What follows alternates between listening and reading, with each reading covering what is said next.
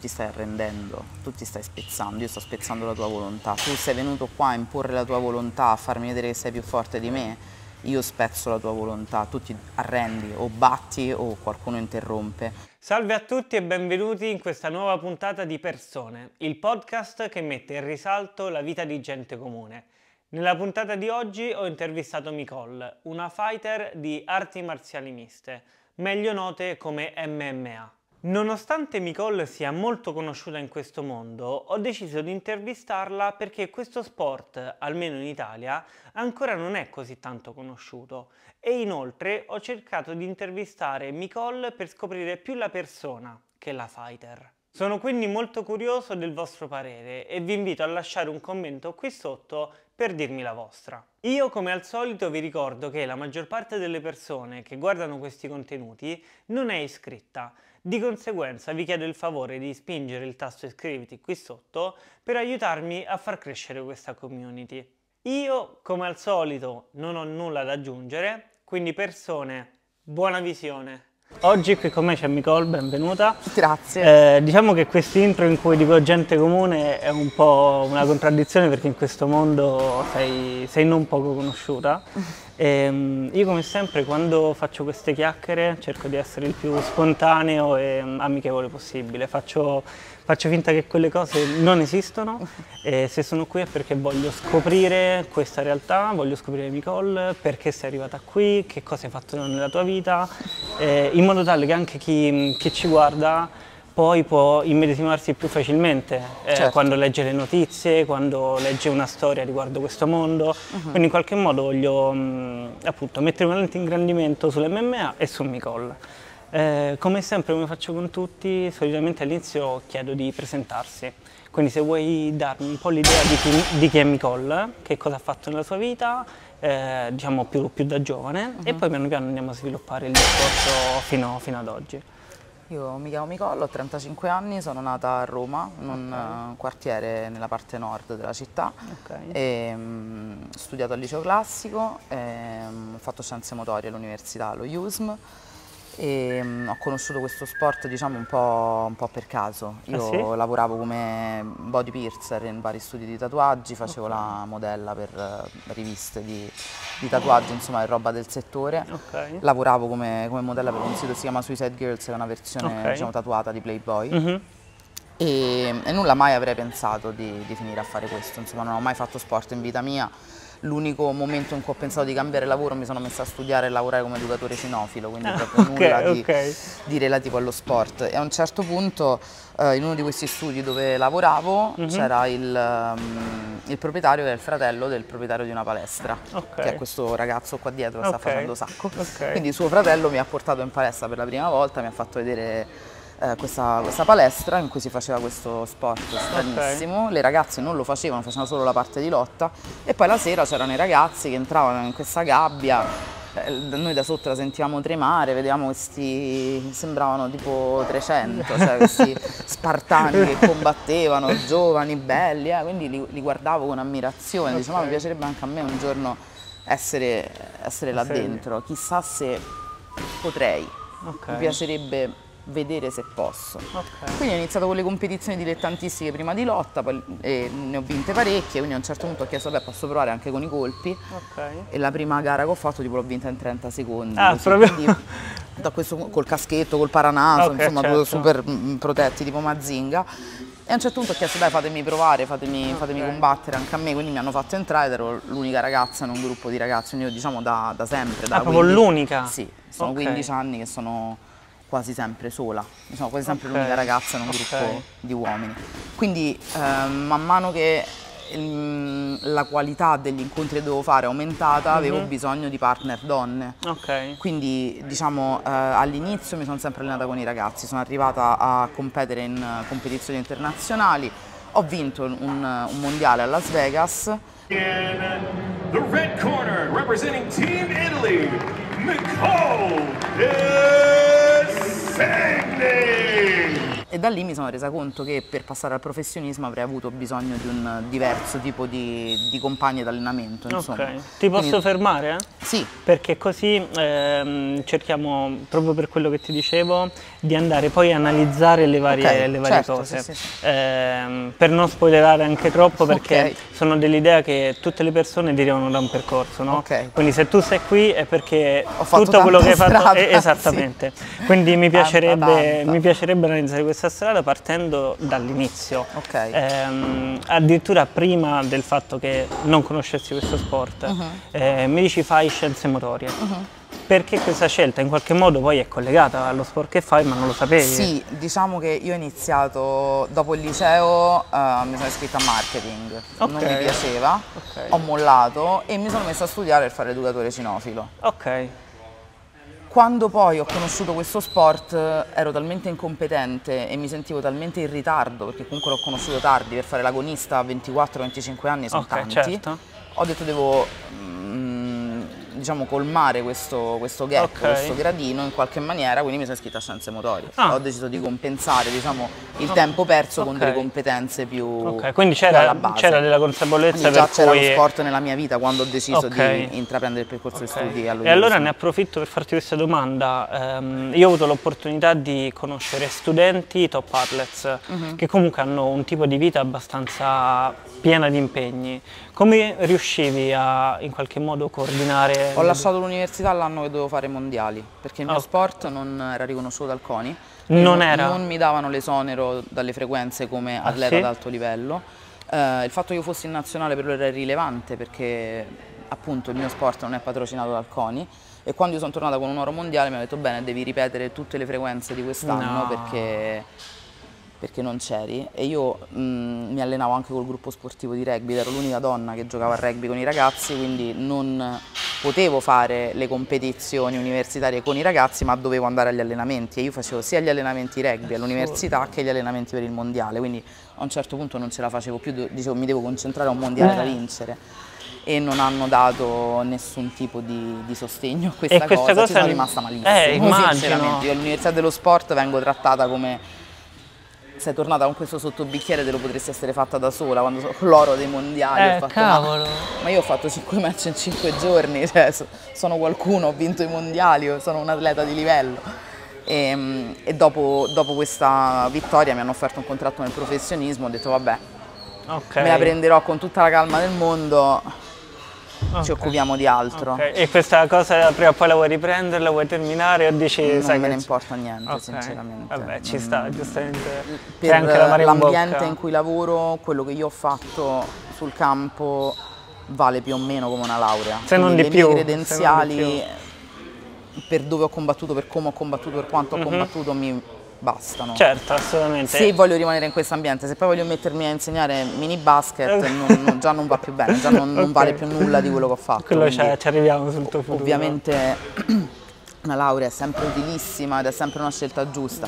Per me in quel momento non era la cosa giusta e poi la priorità è stata fare altro. Ok, beh, diciamo che questo può essere anche un modo per sfatare il mito del se una, una laurea non fa niente. Però se non è una laurea mamma continua a lamentarsi fino alla fine dei tuoi giorni, questo Assolutamente. anche se ho provato a convincere mamma che avere il figlio campione del mondo è più raro che avere il figlio laureato, diciamo, quante tue amiche hanno il figlio campione del mondo esatto. e quanti esatto. laureati? Ah vabbè, mm, un po' l'ho convinta. Okay. Ma non... E infatti volevo proprio arrivare su questo, sul come Comunque la tua figura, l'hai detto anche te, è unica, nel senso che eh, sei, come dice, sei l'unica donna qui dentro, sei, ho letto diverse interviste, eh, sottolinei sempre questa cosa del fatto che eh, in Italia, essendocene poche, tu per allenarti devi andare in giro.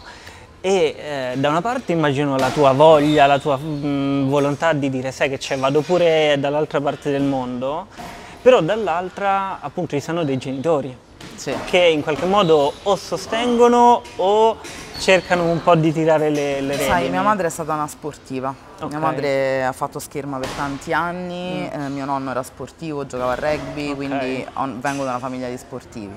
Mi hanno sostenuto sempre, per quanto mia madre l'idea che io prendessi pugni in faccia non le è mai piaciuta. Ovviamente okay, questo sport non le piace, ha paura, è violento, ha, eh, poi ha capito che non è violento però comunque la graficità del nostro sport certo. impressiona una mamma, mm, quindi lei ci viene a vedere i miei, i miei, match, ci viene così, però ci viene, okay. cioè quando ho combattuto a Roma, in realtà io ho combattuto quasi tutta la mia carriera all'estero, quindi mm -hmm. non c'è mai potuta venire, quando a ottobre scorso ho combattuto a Roma c'era lei, ovviamente come ho vinto sono andata a abbracciarla, è stata una cosa bellissima certo. vincere con mia madre lì presente, c'era mia sorella, insomma mia sorella è una tifosa pazzesca, okay. certe volte non ho potuto caricare dei video di dei match perché c'era mia sorella che urlava cose improbabili, mm, irripetibili a bordo gabbio, tipo vabbè ho vinto però mia sorella è proprio un tifo di, al limite del legale proprio. Eh, però è anche bello comunque. Fighissimo, eh, fighissimo, no, vabbè una super fan, la mia migliore amica, le mie amiche insomma e questo gruppo bellissimo che abbiamo qui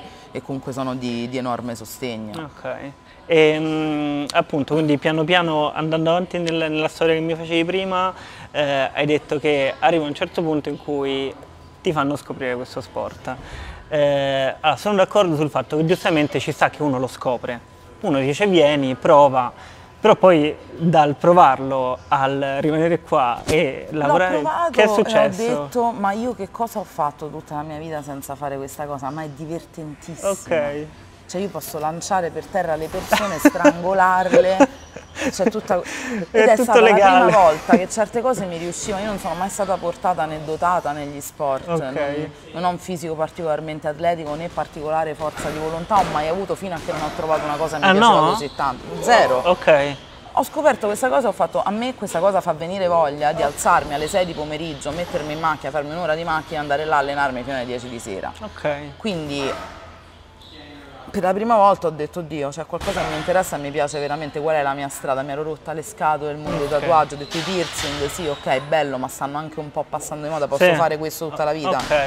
Faccio la modella, posso fare la modella tutta la vita? No, non sono Kate Moss, non sono alta due metri, okay. non, insomma posso giocare a fare questo. Okay. L'educatore cinofilo sì, mi piaceva, ma mi sono resa conto che comunque non era una carriera così remunerativa che mi avrebbe permesso di viverci bene, quindi...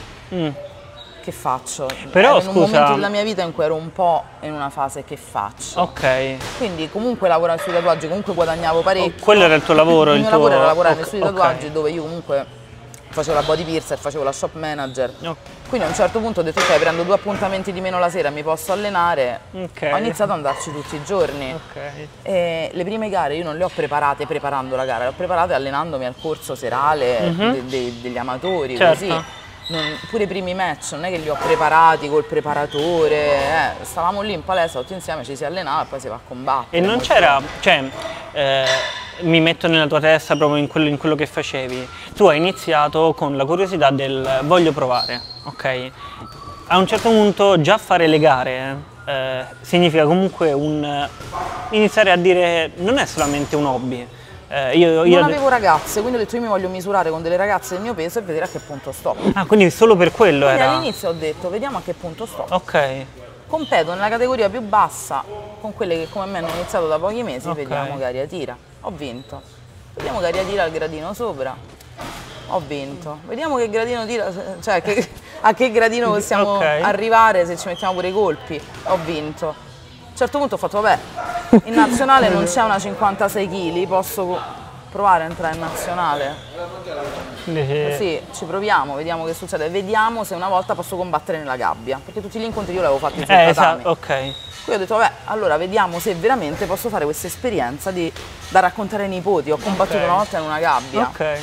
E quindi faccio questa selezione per la nazionale dove mi trovo con un'altra ragazza che era un peso più alto del mio. Uh mhm. -huh. Facciamo un incontro bellissimo, ci danno il posto a tutte e due in nazionale, okay. quindi una 60 kg e una 57. Okay. Io facevo 57 kg di peso naturale. Adesso sei 52, Adesso giusto? faccio 52, okay. sì. E, e, nulla, con questa ragazza poi siamo diventate amiche, siamo andate insieme a fare i mondiali, un anno abbiamo preso il terzo posto, l'anno dopo siamo tornati e abbiamo vinto entrambe il mondiale, quindi abbiamo fatto un signore incontro come okay. nostro primo eh, incontro. Cavolo. Durante il mio primo incontro, primo minuto del primo round mi si rompe il braccio, cioè la ragazza mi prende una leva e mi si rompe il braccio. Il braccio mi si sloga al punto io lo riesco a sfilare e riesco a fare questo incontro con questo braccio dislocato. Allora, che comunque lo tiravo su e mi cascava da tutte le Ma parti. Ma lì l'adrenalina fa sì che non senti niente? Allora, o... a fine primo round sono tornato all'angolo ho fatto maestro, mi sono rotto il braccio. Eh. Lui che puoi fare? Interrompiamo puoi andare avanti. Ho fatto no, non mi fa così male da, da interrompere, sto qua. Quindi sei tu che decidi, cioè, cioè in quelle dinamiche chi, eh, Ok. se, il, insomma, se il medico o il coach vedono un osso di fuori ti fermano. Mm, Una vabbè. ferita da sangue Certo, brutta, certo. le ferite da sangue per esempio non te ne accorgi Ok. quanto è grave. C'è il sopracciglio così, uno non lo Dici sa. non sai se si è aperto totalmente. vabbè. Mentre invece in quella situazione ho detto, beh, a sensazione te la senti? Io sì, sì, me la sento, finisco questo incontro, l'incontro va bene alla fine, Ok. comunque riuscivo a tirare i colpi, anche col braccio sì, riuscivo a prendere il braccio e tirarlo Mm. a terra e lottare bene Ok. o male, quindi poi dopo ci siamo accorti che c'era una piccola frattura, una dislocazione, una- un problema Mhm. ai tendini, però poi avevo i mondiali, quindi fisioterapia di corsa per riaggiustare questo braccio, però insomma finisco questo match, vado dal mio, dal mio coach e vado, ah che figata! Ma va così, mi Ma fa questo, guarda che non va scusami, così tutte le volte. scusami al volo, ehm, dopo quanto tempo succede? Un annetto, sei Ah, mesi. ok, sì, prestissimo. presto, ok, sì. ok. E, niente, il coach mi fa, guarda non va così tutte le volte, non è che tutte le volte uno si rompe il braccio, guarda se va così tutte le volte ci sto, se poi va meglio ancora Ancora. meglio, quindi per me così vabbè lo posso fare di nuovo. Quindi a un certo punto sono arrivata che lo posso fare di nuovo, vado a fare questo mondiale. Il mondiale è stata un'esperienza tosta perché comunque c'hai 5 incontri in 5 giorni, Ok. A eliminazione diretta. Cioè, ogni giorno è un giorno incontro. combatti, sì, e quindi se c'hai infortuni, se ti sei tagliato, non vai avanti anche se hai vinto. Ah, ok. Ok. Quindi non solo devi vincere. cioè non ti hanno la possibilità di farlo da acciaccato? No, Ok. devi vincere, devi vincere bene, non ti devi neanche fare male. Ok. Quindi ehm, niente, arrivo a fare questo torneo in semifinale, mi trovo una ragazza che adesso è in top 5 in UFC, era già professionista, eh, insomma aveva preso degli integratori particolari, ha preso un po' di polvere di stelle prima di questo. sì? sì, sì, perché poi l'hanno testata positiva dopo. Quindi, Ok. Insomma, mi sono trovata a fare un Quindi i test si fanno dopo, no- non per forza prima. Cioè, Subito dopo, fa- Ok. immediatamente dopo, Non o, è, o prima o dopo, Eh, non è stupido ore prima, dopo. ore Cioè, dopo. ormai il danno è... quando vinci hai fatto. No, no, no, non, non puoi avere risultati immediatamente e non farlo competere. Lo fai competere e poi ti annullano casomai il risultato della competizione. Per lo show? No, O cioè per- nello sport in generale, se tu vieni testato, vieni Ok. testato immediatamente dopo la competizione, quindi ti Dici, non- annullano il o- risultato. ok. Penso anche alle Olimpiadi, se testi positivo per doping non è che non competi, ti squalificano dopo, ti prendi dei mesi di squalifica, Certo, prendi una sì, multa, sì, sei sì. mesi, due anni e cose così, quindi, quindi niente, feci quel- quell'incontro molto duro, una rosicata pazzesca che torno a casa col bronzo, però la mia prima competizione internazionale Beh, va bene, cioè ho portato a casa Eh. sano il naso, con l'infortunio che avevo avuto al braccio e tutto quanto, però ho detto io l'anno prossimo torno e vinco. E a livello di emozioni lì, qual è il contrasto? Perché immagino... Lì ero distra- la prima volta ero distrattissima, che figata, sto qua, Ah, ok, combatto, il Las parco Vegas, giochi. uh, uh, che bello, c'è gente da tutto il mondo, la volta dopo stavo così. Ok. La gente mi faceva, no perché stasera siamo a Las Vegas, andiamo a casa, io zitti, io devo mangiare l'insalata e il pollo, 130 grammi di quello, Ok. cioè, non, mi, non mi distraete, non mi parlate, quindi l'anno dopo sono andata Ok. per l'obiettivo. Il primo anno sono andata a vedere che succede, oh mio Dio, l'UFC organizza un mondiale dilettantistico, ci stanno i fighter, Mhm. wow. La seconda volta sono andata per vincere, Ok. così, e ho vinto. E che succede allora in questo anno in cui eh, prepari in qualche modo il Ho mondiale? capito che i pugni fanno male, quindi ho detto se voglio andare a competere devo stare attenta perché mi faccio male. Perché Ok. non è un gioco, è uno sport duro, non è uno sport come tutti gli altri, No. è uno sport dove ci si fa male, quindi o ci stai con la testa oppure ti fai molto male. Mm, mm, mm, ho visto gente farsi male e in palestra poi mi hanno spiegato guarda Nicole che se non stai concentrata ti fai male, se vai a fare questo tipo di competizioni con la testa da un'altra parte o con la testa, ah oddio vediamo che c'è qua, Mhm. Ti fai male. Ho detto ok, se voglio fare questa cosa seriamente devo farla con la testa Ok. e quindi ho cambiato qualità di allenamento, insomma focus ed è un lavoro poi che mi sono dovuta portare negli anni perché Certo. comunque ehm, anno dopo anno devi imparare a essere sempre più concentrato, sempre più Eh, la mentalità, è, la mentalità facendo. immagino sia devi tutto. rendere nell'allenamento il 1000%, quindi non Mm. ti puoi permettere in quell'ora di stare a guardare in giro, in quell'ora hai quell'ora per, Ok. per migliorare, per crescere. non- Ho due, due cose che mi vengono in mente. La prima, tornando un po' diciamo in realtà alle basi, ehm, hai detto tu stessa che è uno sport pericoloso, uno sport di contatto. Questa cosa, eh, tu hai detto ti piace, ad esempio a me, io sono una persona invece molto più distaccata, Eh, quali sono le sensazioni che provi? Cioè perché quella cosa di prendere la persona e schiaffarla per terra, fargli sentire diciamo la, la tua predominanza, no? Che cosa a ti dà? costo di, di dire una cosa un po' poco accettabile, Mhm. il piacere che io provo è nello spezzare il desiderio di vivere di una persona, cioè tu ti stai arrendendo, tu ti stai spezzando, io sto spezzando la tua volontà, tu sei venuto qua a imporre la tua volontà, a farmi vedere che sei più forte di me, io spezzo la tua volontà, tu ti arrendi o batti o qualcuno interrompe, okay. oppure io dimostro per tre riprese che sono più dominante, più forte e mi va più a me mm -hmm. che a mhm. te. Bello, ok. Eh, eh beh, vabbè, è proprio istinto naturale alla fine, cioè sì, il, è... ti, ti domino sono, sono più è abbastanza predatoria per me, per okay. me almeno. Come, no, sì, sì, assolutamente, assolutamente.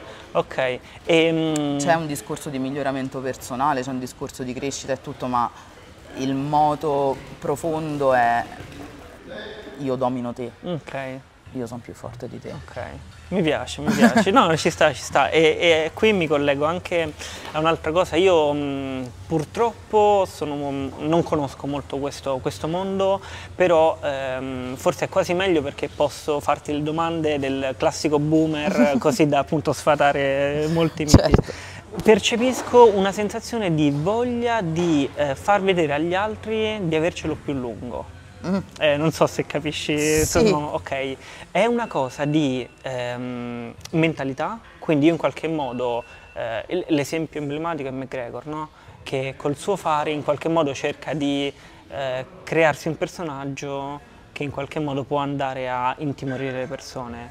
Quanto per te quella cosa esiste o per te è solamente io vado lì ti devo sfondare? Il personaggio non può esistere se dietro non c'è l'atleta, nel senso un McGregor che fa così e poi fa schifo quando combatte mm -hmm. è un pagliaccio. Okay. McGregor è un pagliaccio, sì. però è un pagliaccio che si può permettere di fare il pagliaccio, si è mm -hmm. potuto permettere. Adesso sta scadendo male perché sono tanti anni che non vince e quindi uno dice ah allora McGregor è un pagliaccio. Prima dicevano ok ci crede talmente tanto che la mentalità è tutto, okay. allora ok crederci, ok la mentalità è tutto, non c'è bisogno di fare i bori Uh mhm. -huh. C'è chi facendo il boro funziona bene, c'è chi non funziona così. Okay. Io penso che più che cercare di fare il personaggio uno è se stesso, se poi sei uh mhm. -huh. personaggio o non sei personaggio, eh, quello esce Viene fuori dopo, quello serve per le pay per view, ma per essere un bravo atleta non serve essere un personaggio. Tutti i fighter hanno una, una, storia interessante dietro, sono tutti un po' personaggi, okay. siamo tutti un po'... Certo. Quindi qualcosa da raccontare ce l'abbiamo tutti quanti. Ok, no, allora forse um, quello che mi interessa è più a livello poi di 1v1, nel senso che tu hai un opponente? Che in qualche modo per, immagino qualche mese prima, sai... Mm. A volte qualche mese, a volte qualche settimana, Ok, giorno, insomma. anche giorni? Sì. Ok. Quindi... Sì, perché magari tu ti stai preparando per un incontro, l'avversario a 10 giorni al match si fa male e te ne trovano un altro. Ok. Okay. Oppure, di, oppure, sei quello che chiamano perché Ed... qualcuno si è fatto male. Ah. Qualcuno si è fatto male, vuoi combattere? Okay. ok, sto in forma, vai. Ok. E um, quanto lì eh, ci sta una preparazione sull'altro? Mi spiego, si mi spiego bene. l'avversario tecnicamente, eh, In una battaglia cioè una battaglia, mm, in un incontro, in un incontro eh, tu ovviamente fai il tuo per allenarti, per dare il 100%. Quell'allenamento quanto è improntato sull'altra persona e quanto Quando non hai il match è tutto su te stesso, tutto su, aggiungi nuove skill. Ok. Quando fai il match levi tutte le cose che fai così così, fai solo quelle 3-4 cose che sai fare bene a ripetizione proprio okay. quotidiana e quelle cose, quelle cose che sai fare bene, le. -huh. selezioni tra quelle che funzionano per quel tipo di avversaria. Quindi tu vedi l'avversaria, uh mhm. -huh. vedi quella come si muove, scegli che tipo di attacchi e difese dovresti utilizzare okay. contro quel tipo di avversaria e lavori su quelle riducendo la quantità di roba su cui lavori perché se ci sono degli attacchi che con quell'avversaria ti potrebbero esporre di più non funzionano, non ti mm. vengono bene, vanno levati certo. dagli allenamenti quindi okay. diciamo che fai meno cose più intensamente, più ripetute ok e più specifiche Quindi ci sta, mh, mm, mi viene di conseguenza una domanda, eh, immagino che dietro di te ci sia un team. Sì, Quante it army. Quante persone sono e che cosa fanno? Molte più di quelle che uno può immaginare perché non è solo... Allora c'è un head coach, uno striking coach, un grappling coach, un wrestling coach, un preparatore atletico, fisioterapista, nutrizionista, eccetera, eccetera non solo, okay. cioè ogni singola persona che ti serve tutti i giorni per allenarti, perché se tu non hai un compagno bravo, tu non ti alleni bene, se mm. il tuo compagno non ti dice guarda questa cosa stai facendo su di me non funziona, falla meglio, o ok questo lo sento, ok questo non va, okay. non serve a niente, e devono essere diversi, non può essere sempre lo stesso, perché dopo un po' ti abitui. Certo, conosci Quindi anche... non è solo il coach, ehm, il preparatore, il fisioterapista, è tutto l'ambiente che okay. ti porti appresso è ehm, il segretario che ti accoglie col sorriso la mattina e ti mette in, in un buon mood, mm -hmm. è la persona al bar che ti prepara lo shake di proteine come, okay. come ti serve, è tua madre che torni a casa e c'è il pollo pronto, è il fidanzato ti fa il massaggio ai piedi la sera perché arrivi e ti fa male certo. tutto, ti mette la crema sul ginocchio perché c'è una gamba così, è tutto il contorno sono, sono, okay. dello staff. Ok, no, perché appunto immagino che poi uno più sale di livello più giustamente tu devi essere concentrato a allenarti e poi il lavoro di guardare come combatte quell'altro, eh, qual è il cibo migliore che puoi mangiare, sì. così sono cose che... Alcune cose le impari eh. da solo, alcune cose dopo un po' ti abitui, dici ok per me funziona questo, eh, alcune cose c'è bisogno degli specialisti che okay. ti, ti, indirizzano. Okay. E infatti qui volevo arrivare a, a un tema che diciamo, in primis mi interessa, che è quello dell'alimentazione. Eh, in, immagino che eh, la tua vita sia abbastanza in qualche modo monotona sotto quel punto di vista. Vita è così. Ok. Questo è uno sport che proprio preclude al disturbo alimentare. Okay. Perché tu, devi, tu, devi, rientrare in categoria.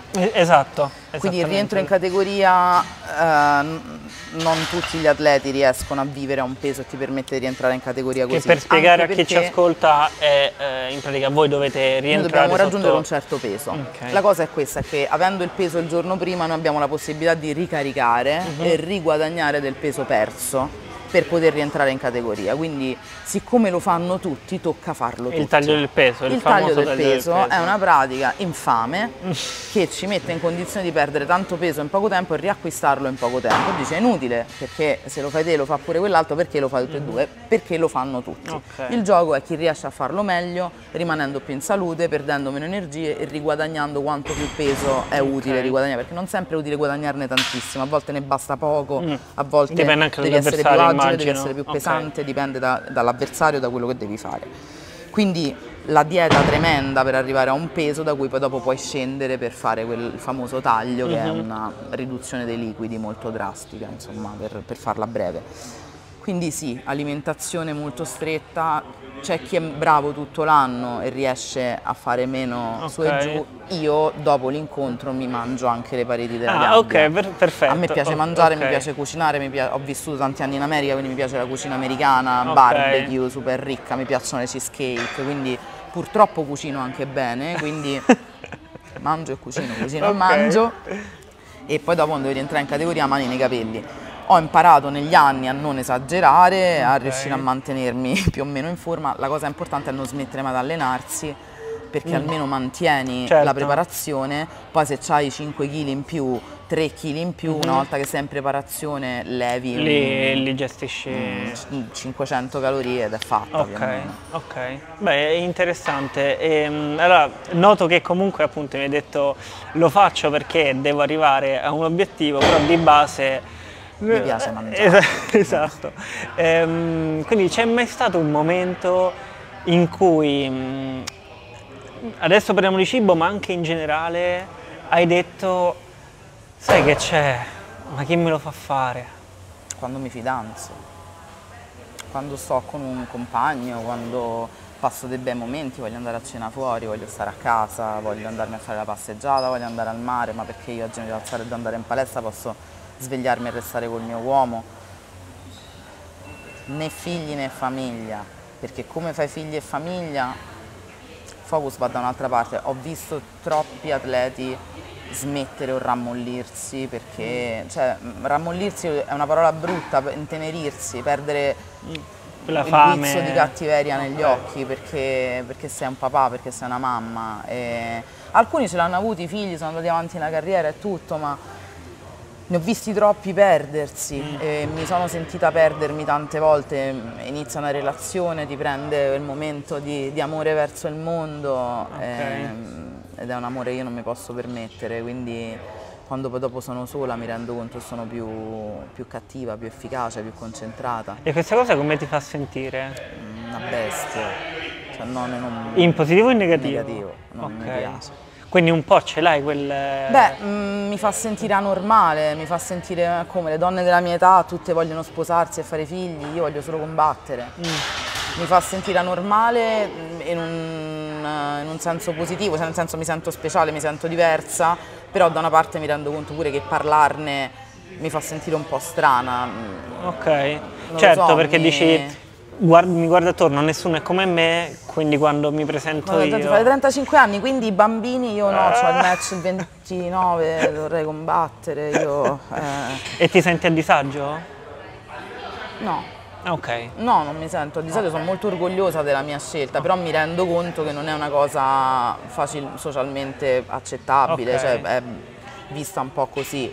Cioè che ne so, vai al matrimonio, è, è a te quando ti tocca. chi, eh? chi parli? no, io ragazzi ho il match, cioè tra due mesi ho il match. Ok. Eh, non, non, esiste, ma ugualmente non esistono vacanze, cioè le amiche ti dicono andiamo, prenotiamo la vacanza, prenoti la vacanza hai buttato i soldi perché poi ti esce il match, combatti un mese dopo la vacanza, che fai? Ti sei fatto un mese certo. di vacanza? No.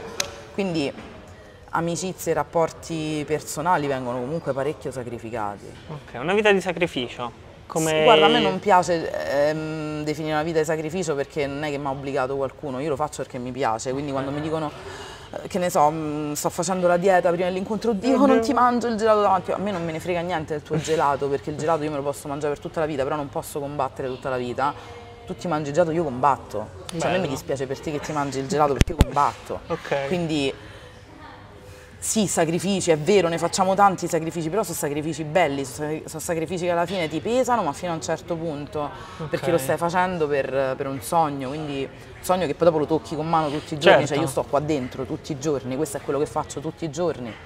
E... E ci sta, vale sempre la pena. Ci, ci sta una cosa che, che, mi viene in mente proprio su, su, sul fatto che adesso tu lo fai perché sai eh, cosa stai facendo e cosa vuoi fare. Quindi hai questa mentalità perché in qualche modo hai un, un obiettivo, cioè dici io mangio in quel modo, mi alleno in quel modo perché ho la gara, certo. perché la devo vincere, perché devo essere la migliore. Questa è la tua mentalità di adesso. Quando non hai la gara è terribile. Eh, esatto, cioè, ma anche prima di iniziare a diventare mh, professionista, comunque un atleta che... mi alzo a fare la mattina? Eh, la domanda. Cioè, quella, me, quella mentalità da dove nasce? Quale mentalità? Quella del... Ok, la... adesso anche che io ancora non ho vinto niente, ancora non so che diventerò... Perché ho trovato una cosa fighissima da fare, ah che figata! Ok, quindi che figo mangiare bello. in quel modo? No, no, no, no. Che bello vado in palestra, per essere più funzionale in palestra Sì, eh, sì, sì, quello intendevo Non mi piace mangiarmi il nasello con okay. il minestrone, però se me lo mangio... So che arrivo a Posso quello. fare la gara, faccio la gara, mi diverte fare la gara, okay. quindi vale la pena. Ehm, che ne so, andiamo una settimana in Sicilia, che ti importa di più andare una settimana in Sicilia o performare bene al match? Eh, in Sicilia ci vado dopo, mi interessa okay. più il match, quindi non, non è la rinuncia, oh, oddio mi, mi, piace rinunciare a quello, no, no mi, mi, è utile per, cioè certo. è tutto improntato su cosa è utile, cosa mi serve in questo momento, cosa mi serve, cosa mi fa stare bene, okay. stare qua dentro, allenarmi, combattere, vincere, eh, sognare il mio braccio alzato, immaginarmi il pugno che tocca il viso dell'avversario, mi fa stare bene, sì lo faccio, non mi fa stare bene faccio altro. È un bellissimo messaggio perché eh, fa capire alle persone che per arrivare dove vuoi arrivare non è solamente voglio, ma è anche devo. Quindi devo sacrificare determinate devo cose. perché voglio, se trovi una cosa che ti piace non ti pesa niente. Eh, sono, sono d'accordo.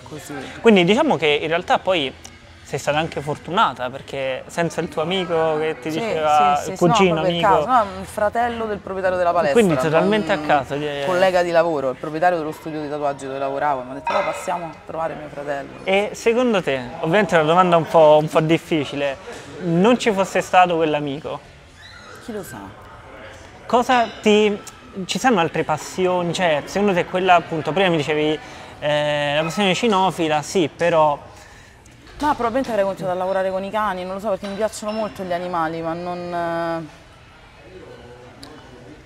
non vedevo grossi sbocchi lavorativi, okay. come per i tatuaggi, non lo so, avrei dovuto trovare qualcos'altro che mi appassionava, cercavo una passione, cercavo qualcosa che mi facesse venire voglia di alzarmi a letto okay. la mattina okay. e non la trovavo e non, non avrei saputo dove cercare, perché tutto pensavo tranne che lo sport potesse essere la mia strada, andavo in palestra, mi segnavo in palestra a settembre, ci andavo una volta, non ci andavo più. Ah, cioè, quindi proprio neanche sportiva? Mai fatto sport in vita mia, da bambina non giocavo a pallone, giocavo con le bambole, io, io non mi tirate la terra addosso mai arrampicata su un albero, quindi quando io ho cominciato non ero proprio coordinata, non ero proprio portata, perché da bambina non ho saltato, corso, arrampicato, ho fatto tutte quelle attività mm -hmm. che mhm. fanno i bambini, stavo così, giocavo con le Barbie, ero tipo un... Ok. Eh, okay. tipo principessina col vestito, con la coroncina. Totalmente... Quindi non, mai ho pensato, c'è uno sport mi facevo pallavolo, ma ero una una pippa. Più per cioè, fare uno sport. Perché, che ne so, tutte le amiche facevano pallavolo, io facevo certo. pallavolo, ma okay. cioè, non ero questo fenomeno, okay. quindi ehm, non, non, avrei proprio saputo dove cercare. Una volta vicino casa c'era una palestra pugilato, ero andata una volta a vedere così, ma una lezione prepugilistica fatta un po', detto mm. ma che è sta cosa. Okay. Mentre invece la lotta, avendoci poco di coordinazione, essendo dei movimenti a terra che abbastanza intuitivi, mm -hmm. cioè se vado qua succede questo, se vado qua succede quest'altro, mi veniva meglio, okay. mi veniva più, il primo sport mi è venuto naturale che capivo le cose, mi funzionavano le cose, quindi ho provato per la prima volta quella soddisfazione che provano i bambini quando calciano una palla e va dentro la rete, io non avevo mai calciato una palla, mai finita dentro okay. una rete la prima volta che mi è finita una persona nella mia rete strangolata, eh, ciao. Bello. Questo è il mio, ok. Questa è la mia rete. E, ehm, Questa è la mia rete. E per quanto riguarda invece poi i rapporti umani, uh -huh. ehm, tutta la tua vita è legata a questo mondo o in qualche modo riesci anche ad avere delle realtà che sono appunto fuori Ci da questo provo ambiente? con enorme fatica Ok. Non... Ho delle amiche, ovviamente amiche e amici fuori ambiente, gli amici di, di sempre, mm. ma stando tante ore in palestra comunque la mia vita è quasi completamente assorbita da questo, okay. pure perché sinceramente sono noiosa, parlo solo di questo. Cioè, eh. Vabbè, eh, giustamente anche perché quando conosci vita, una persona quindi... nuova, wow, fai questa cosa, raccontami. Io faccio l'impiegato in banca, raccontami tu che fai. Ok. Quindi ovviamente tutto quello che facciamo eh, porta appresso dei discorsi interessanti, delle descrizioni colorite, mm. la gente vuole sapere, quindi alla fine finisci a parlare sempre di quello e poi la gente ti si avvicina facendo oh non mi menare eh, basta che non mi meni e... Oddio, sì, dici ah? mamma mia. No, un po' fa... Anche tu, ah, uh, eh, attento, pugnetto. Quindi quando ti si avvicinano le persone non del tuo ambiente, i primi dieci minuti sei sempre te la doccia di cubetti di ghiaccio. Ok, ok, sì, okay. Uh, la mossa, mm, karate no, quello è Karate Kid. E eh, poi immagino un sacco ah, di storie. Ma lo fai lo stile della scimmia ubriaca, Oddio. no? Ok, magari pensando di essere pure simpatici e sì, di, di rimorchiare così. Di solito, sì. No, la tecnica d'approccio è Basta che non mi menotti e meno, levati. Guarda, sì, te meno, vattene. Se continui te meno. ok, e, ehm, sempre diciamo più o meno su, su questo tema, ehm, se ci sono delle cose che ehm, da interna, proprio per cercare di sfatare, ehm, vorresti tu dire, cioè dal non ti rompono lato... il naso alla prima lezione. Ok. Quindi quello è il primo che mi dicevi. Il naso rotto, il naso, il naso tanto carino. Tutto diciamo, il primo stereotipo è quello, se vai a fare uno sport del genere... Nessuno ti romperà ti... il naso, il maestro non ti rompe il naso, il primo giorno farà di tutto affinché nessuno ti rompa il naso. Ok, ok. Sì. Poi sì, ci si fa male come ci si fa male in tutti gli sport, mm -hmm. eh, non ci si fa più male che in altri sport, bisogna okay. soltanto stare attenti, allenarsi con gente competente, andare in un posto serio Mm, non è vero che nelle palestre ci sono soltanto violenti picchiatori, anzi, di solito uno sport eh, da combattimento, un'arte marziale ti um, fa abbassare la cresta ai galletti. Qua sono molto ti, curioso, sono molto ti curioso. Ti mette molto al tuo posto, okay. quindi se vuoi fare il gaggio, vuoi fare il fighetto, vuoi fare il duro, è il posto sbagliato dove farlo perché ci sta qualcuno di più umile di te che ti fa una faccia così okay. e ti rimette al tuo posto, quindi secondo me pure per, per, i bambini le arti marziali, gli sport da combattimento sono un'ottima scuola, kickboxing, il judo, mm-hmm. qualsiasi cosa possa essere, anche il karate, insomma eh, mette un bambino in condizione di sapere qual è il limite, mh, mm, contiene tutte le situazioni che potrebbero sfociare in bullismo, ti fa rendere conto di qual è la forza, qual è la forza da utilizzare e se una persona chiama la resa devi mollare.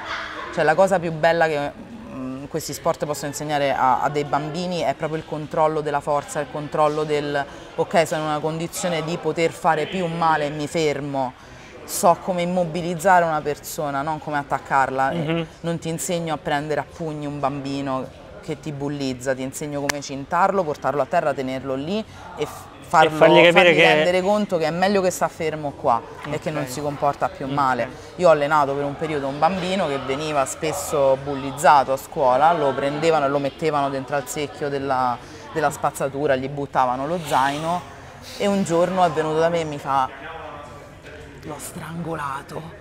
Eh, io cioè, ero pure preoccupata, sono eh, andata alla madre, gli ho fatto guarda, mi dispiace, mi fa no, no, finalmente si è difeso, eh, questo bambino lo, gli si è avvicinato, lui l'ha acchiappato, l'ha buttato per terra, l'ha strangolato e gli ha detto se mi butti un'altra volta lo zaino nel, nel secchio della spazzatura non ti mollo più, però l'ha mollato. Ok. Il ragazzino con la tosse per terra comunque si è reso conto che non poteva più fare lo, lo scemo mm, e questa eh, cosa a me mi ha fatto piacere. Eh, immagino, immagino. Anche perché eri te che hai insegnato a lui. Eh, a... Cioè, no, lui mi aveva detto mi insegni, hai visto McGregor ha perso, mi fai vedere come ha perso McGregor perché se hanno battuto McGregor così okay. anch'io posso battere qualsiasi bullo. Faccio guarda, il bullo si batte così. Ok, beh, mi, mi, piace. Diciamo che questa cosa, prima ho letto lì, ci sta una scheda con il regolamento sì. e... Mh, mm, effettivamente noto come in questo sport, ma co come hai detto te, in questi, in questi, sport di, di, arti marziali ci sia una disciplina che eh, in qualche modo aiuta anche a, a, dare un contesto ancora più, non mi viene il termine, eh, un contesto quasi culturale.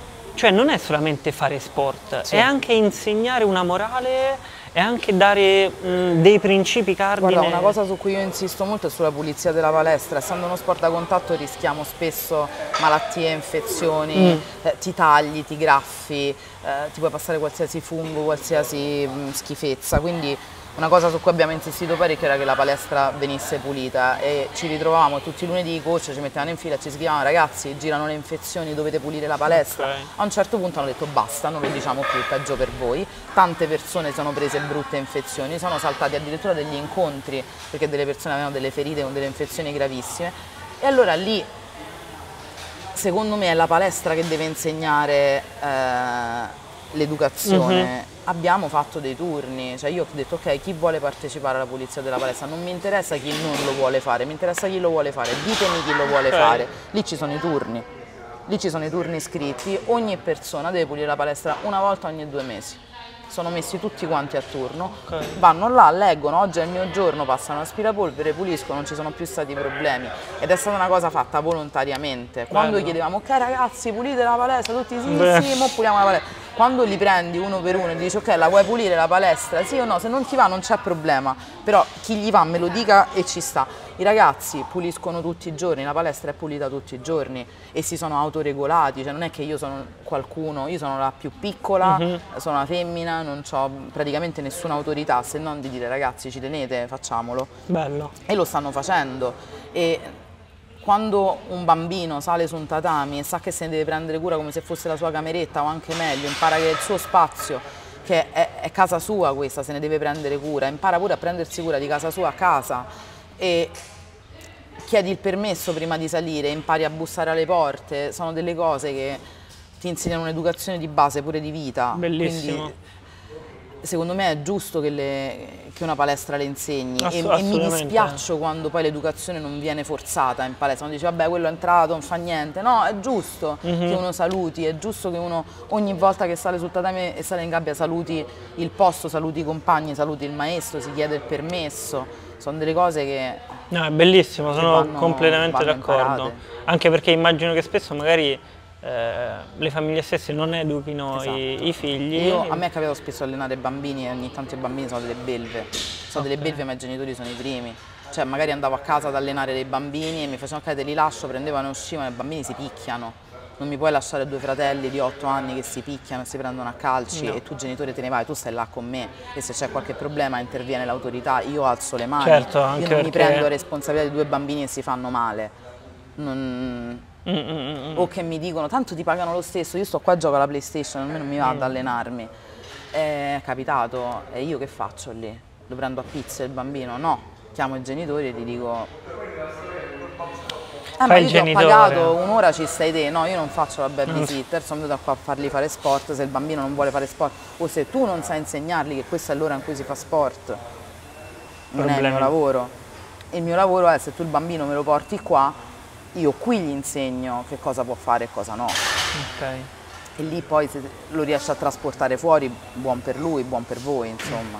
Ok. Eh, per andare verso la fine di, di questa intervista, ehm, immagino che tu, non so quale sia diciamo, l'età per cui a un certo punto uno inizia a dire quando il corpo non regge più. Ok. Quando allora... non ce la fai più con le diete a rientrare nel peso. Ok quando non ce la fai più allenarti, quando in palestra inizi a non performare più, inizi okay. a non rendere come rendevi prima, ti rendi conto che gli altri vanno avanti e tu no, uh, agli incontri ti rendi conto che le performance calano, okay. che non ce la fai più a reggere quei ritmi, che anche cambiando tipo, perché puoi aggiustare il tipo di allenamento, ma a un certo punto non basta più. Mm.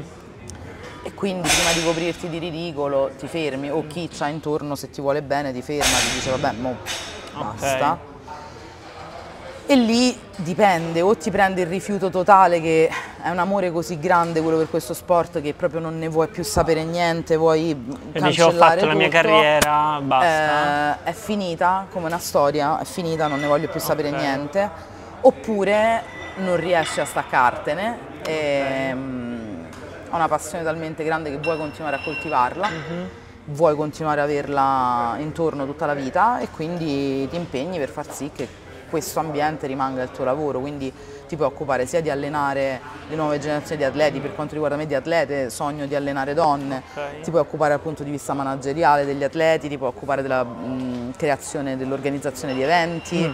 ci sono tante cose che si possono fare, interviste, mh, eh, lavorare nel backstage, okay. ci sono parecchi sbocchi lavorativi eh, che mi permetterebbero di rimanere in questo ambiente. E tra tutti questi ce n'è uno che hai già in mente? Un po' tutti in realtà, okay. ehm, già sto lavorando in quella direzione, sia da un punto di vista promozionale sia da un punto di vista proprio tecnico, okay. sia eh, per lavorare come intervistatrice, per ehm, il commento tecnico agli eventi, sia per allenare le donne, insomma per crearmi un mio okay. gruppo di atlete da seguire, perché non ci sono coach donne. Allenare Ma le donne. sta iniziando a crescere? Un pochino, sì. sì, sì. Ogni tanto vengono delle ragazze, iniziamo a averne di più.